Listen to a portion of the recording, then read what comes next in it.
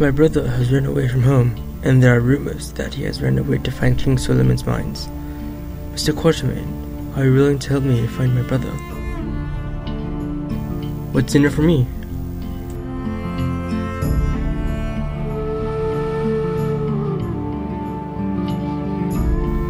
I don't want any of the wealth that is kept inside the mines. All I want to know is the fate of my brother. You and Good can have all the money you want. Will you help me? First, I'll need supplies.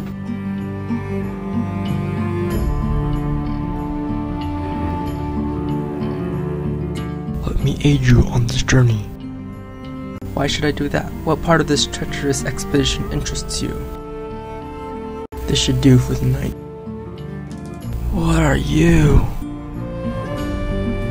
I can have you killed right now if I wanted to, so don't try and deceive me. We're running out of air. We must escape quickly. Today we sacrifice this person. For the